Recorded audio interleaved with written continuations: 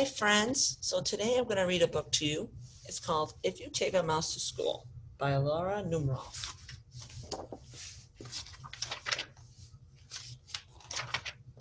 If you take a mouse to school,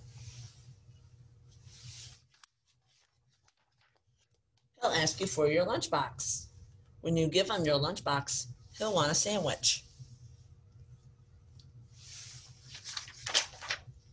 And a snack for later.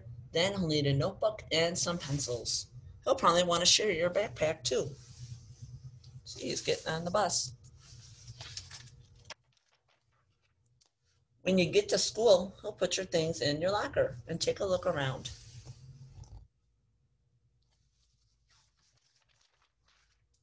He might do a little math and spell a word or two. He'll even try a science experiment.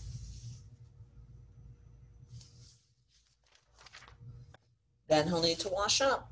You'll have to take him to the bathroom. Once he's nice and clean, see, he's all dirty, and then he got nice and clean. He'll be ready for his lunch. On the way to the lunchroom, he'll see some building blocks. He'll build a little mouse house. See, he's building with blocks, building a house. And make some furniture out of clay.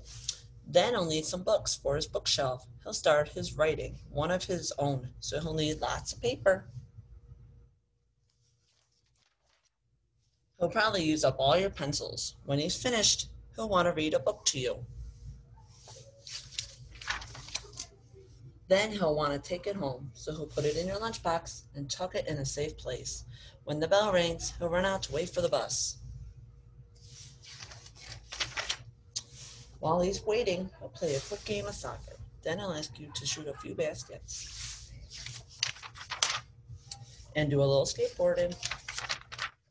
When he stops to catch his breath, he'll want to eat a snack. So he'll ask you for your lunchbox, and chances are, if he asks you for your lunchbox, you'll have to take him back to school. The end. I hope you guys enjoyed that, and Miss Leslie will see you on Monday. Love you guys.